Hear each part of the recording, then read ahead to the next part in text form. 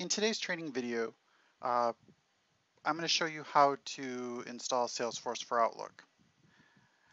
You're going to want to log into your Salesforce account and once you've logged in, you're going to probably most likely go to your home page, home tab. You're going to want to click on your name up here and go to setup. That's going to bring you to here. What you're going to then want to do is look under personal setup to the left and go to Desktop Integrations. Click on the little triangle sign right next door to it, which will then open up this menu options. You want to click on the Salesforce for Outlook. Once you click on that, you're going to see two, two buttons. One's to view my configuration, and the other one is to download the latest version of Salesforce for Outlook, which is actually 2.1.1.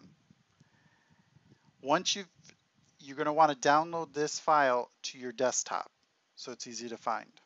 So once you've done with downloading that, you're going to minimize the, your Internet Explorer. And then you're going to double click on the Salesforce for Outlook that's on your desktop. And you want to follow all the prompts. You want to select English. During the installation, it's going to check to see if you have two main files that are required to run this. If it prompts you that you need to uh, download those two files, please do follow that installation that are, they are required for you to run the Salesforce for Outlook. So once that has been completed, you'll get to this screen here. On this screen here, you're going to follow the basic command prompts. Um, you do want to accept the license and you want to keep hitting next. We want to install it on the C drive, so we're just going to click next and we're going to begin the installation.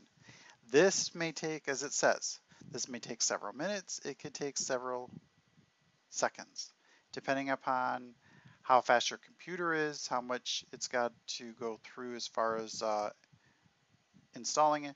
So this, this may take only just a few minutes, it can take a few seconds. So we're just going to wait and see how um, once this finishes, and then we'll continue on.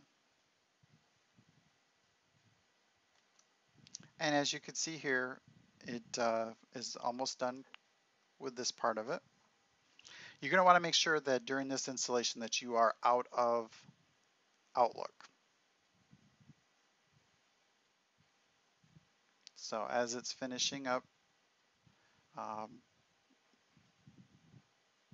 it will then continue on once it's done and uh,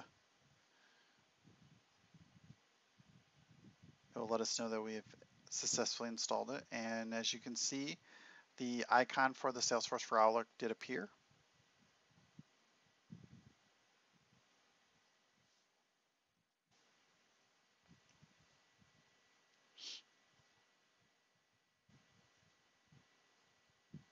Okay, so we want to start Salesforce for Outlook, so we're going to click Finish.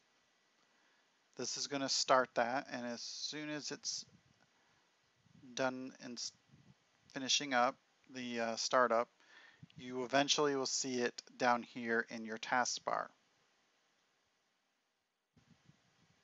I'm just going to give it a few more, about a minute or so, or less.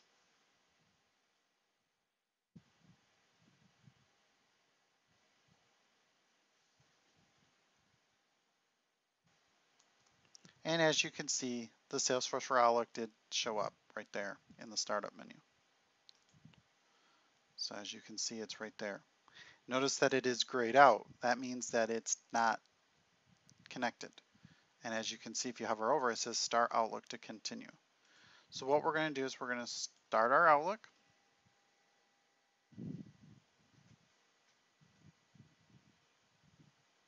And as you can see, it's loading the add-on. That's always good.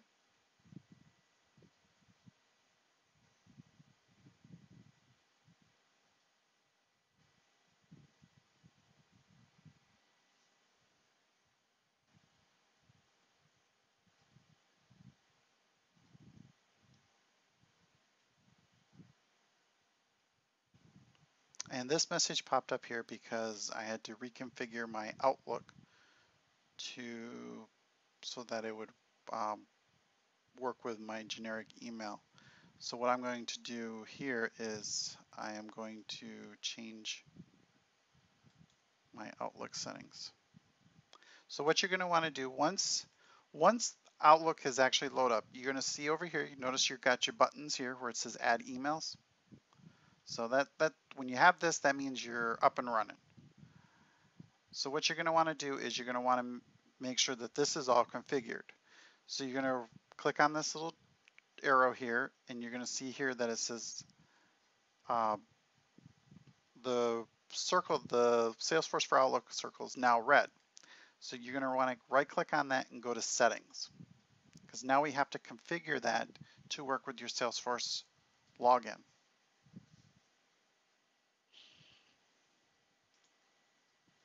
So I'm going to go all the way back here to the beginning. So what you're going to want to do is you're going to want to enter in your Salesforce user ID and password right here. So we're going to enter that in.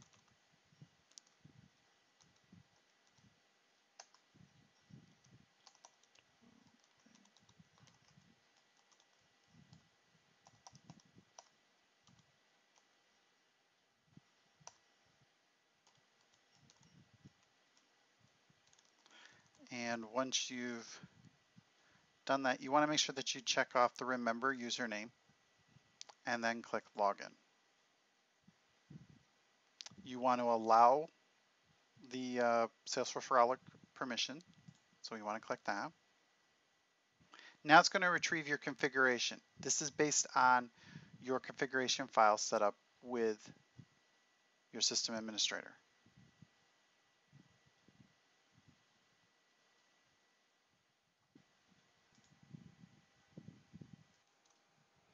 Okay, so once you've logged in and have gotten into this into the Salesforce for Outlook, you'll come to this screen here. This is where you can actually change your folders uh, for your events and tasks. Um, I probably recommend just leaving the way they are. So just click on next. This here enables you to sync or include private events and private tasks into Salesforce from Outlook. I would probably recommend leaving these unchecked. Um, that way you're not, if you have any like uh, doctor appointments or any personal tasks or events that you don't want everybody else to see in Salesforce, then I would leave these unchecked. So that way they don't get synced in. And then just click Save. Now we've completely configured the Salesforce for Outlook connector. So, and as you can see, sync is in progress. Um, that will complete, the first sync usually can take the longest um, because it's got to sync the data back and forth. But what you would do here is to say if I wanted to add this email here, for an example, into Salesforce. So I'm going to double click on that email and I'm going to, hopefully it will open up good. It did you're going to see the button right here that says add email. So what I'm going to do is I'm going to click on this on this button.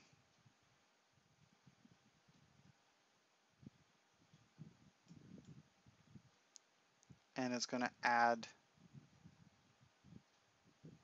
that email to Salesforce.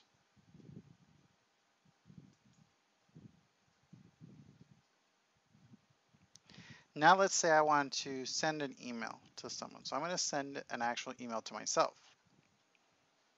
So I'm going to put my email address. Actually, I'm going to put my personal email address.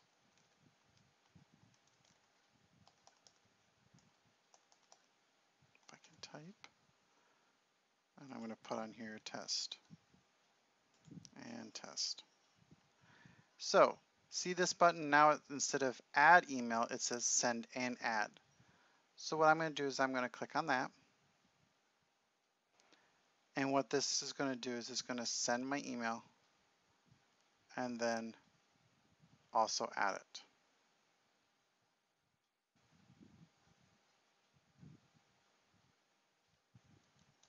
Okay, so once that's all done sending it, you'll notice that it will go into Salesforce. And I believe I probably have been timed out.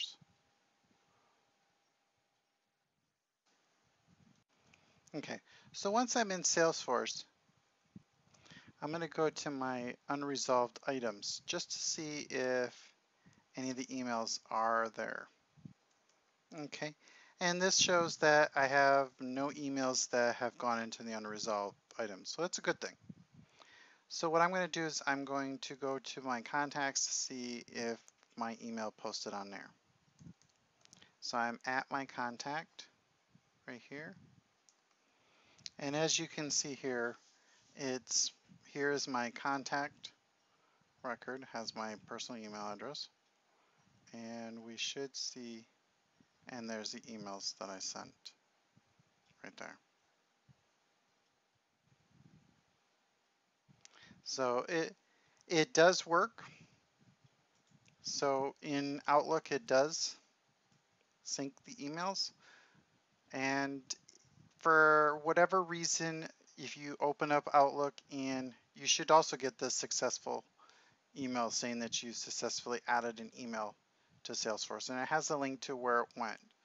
If it um, if you click on that link and it opens it up and goes to unresolved, then that's where you would have to go in and actually point it in the right direction of where it needed to go, whether it be a, to a contact or to an opportunity, um, an account, a lead, um, in some cases a case, if you guys are going to be handling cases, um, you can point it to the case. So wherever the ob whatever record it needs to point to in the unresolved sections, you'll be able to point it to that direction.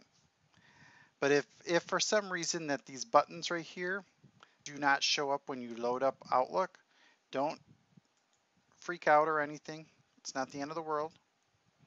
Um, you would just click on File, go to Options, and if you happen to scroll down to here where it says Add-ins, click on that.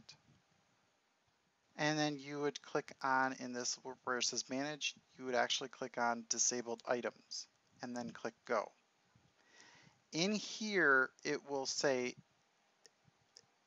if the Salesforce for Outlook add-on is disabled. If it is, you click on it and enable it. Once you've done that, click OK, close out of Outlook, and then relaunch back into it, and that button should reappear again. Okay.